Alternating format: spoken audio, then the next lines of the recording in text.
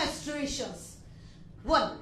See, masturbation, they are saying that it causes anxiety and concentration problems.